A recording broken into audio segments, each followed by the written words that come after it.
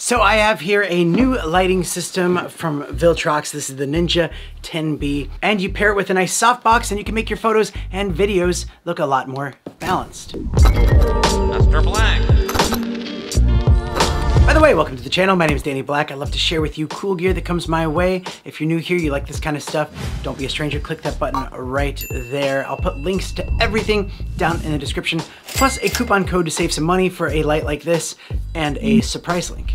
And if you are in the market for a new studio light or a more professional light to take with you on shoots, you should definitely check out this light right here. This is the Ninja 10B from Viltrox. It's a 120 watt handheld COB LED light, and it comes in this nice protective case, so you are ready to go on your shoots. You get the power adapter, a lamp shade, securing clip, and of course the Ninja 10B with protective cover. You can also get an external battery pack and handle grip if you need more of a run and gun light setup. So looking at the light, it's really designed nicely. It's a nice CRI light and it gives you single and bi-color temperature control. So you can go from a cold light all the way to a warm light and anywhere in between. It has a built-in cooling fan and it's made from aluminum alloy to dissipate the heat properly. And the fan is real quiet, so you don't have to worry about it getting into your audio. It has an L-shaped bracket with 330 degree rotation, and it's really strong. The light itself can be controlled from the back dot matrix display and the buttons. You can do all of your adjustments there or through the mobile app, which is really easy to set up, or you can get the remote control and use the remote control with it. And with the remote and the app, you can set up different channels and groups. That way you can change multiple lights at the exact same time.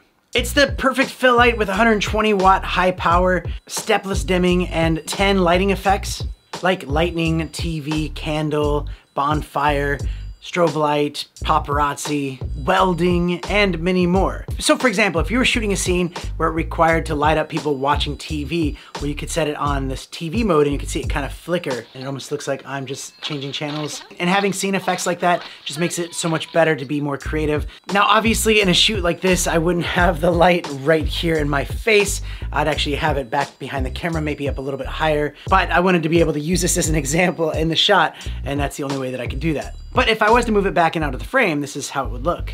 And that gives a lot more balance in the lighting and you can see me a lot better. Like for example, turn it off. This is what it looks like with it off. And let's just turn it on, yeah.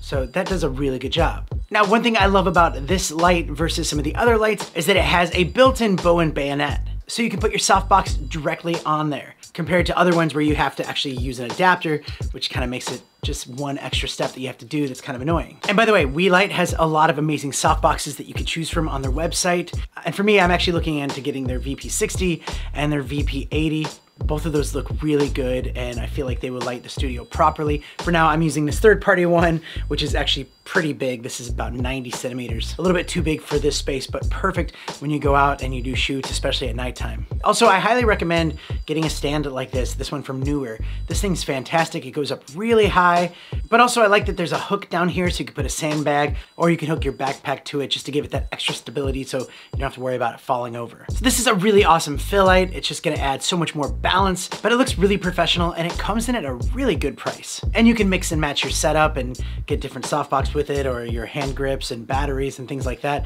So check it out and just see what works best for you. And you can save some extra money using my coupon code, so make sure you check that out. And Viltrox does make really great products, not just because they look cool and they do the job, but it adds a lot of value to your production. So I think if you're someone that's trying to up your production quality and you wanna get some good studio lights with softboxes, definitely check out Viltrox. But that's it for me. I, I love this light setup. It's just, just ridiculous being so big right here in my face. But it looks amazing and thank you so much for watching. I have a lot of really cool products to share with you coming right out. So do stay tuned to the channel and I'll see you next time.